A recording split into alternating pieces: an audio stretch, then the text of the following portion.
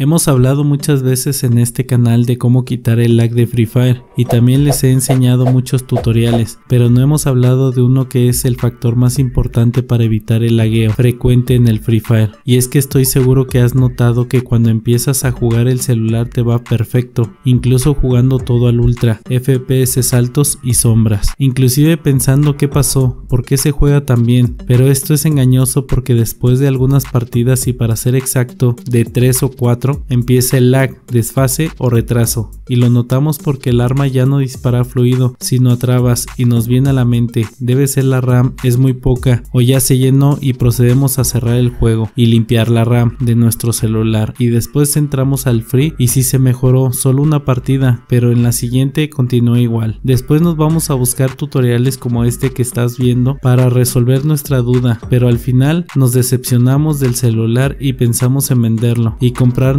uno más potente porque este celular ya no sirve y eso que es de los supuestamente mejores gama media baja. Pero es aquí donde te vengo a hablar de lo que te dije al principio del video y es que hay un factor muy importante que estás haciendo el lagueo a tu celular porque analicemos cuando empezamos estas primeras partidas porque no se lagueaba y después de un rato sí y la respuesta está en tus manos en las sensaciones que sientes después de un rato. Y no pienses mal me refiero al calor que emana tu celular. Y sí amigos, ese es el problema más importante que tienen los celulares y que ocasiona el lag. Y es que el celular se calienta mucho y es lo que ocasiona ese problema y no lo tomes a la ligera. Ese puede ser la solución que estás buscando así de simple como lo escuchas. Si resolvemos el problema del sobrecalentamiento del celular, vamos a poder jugar fluido, no solo cuatro partidas, sino todo el tiempo que estés jugando, no importa que lo estés cargando. Claro que influye para el calentamiento, pero aún así cargando, jugando todo al ultra, hay que encontrar la manera de tenerlo frío todo el tiempo y la solución es muy sencilla, hay que comprarnos un ventilador, pero con radiador, o sea de esos ventiladores que se ponen atrás del celular, pero que después de un rato generan una capa de hielo muy delgada, con agua escurriendo de lo frío que lo deja, el ventilador y el radiador, y con eso solucionaremos el problema del lag definitivamente y para siempre.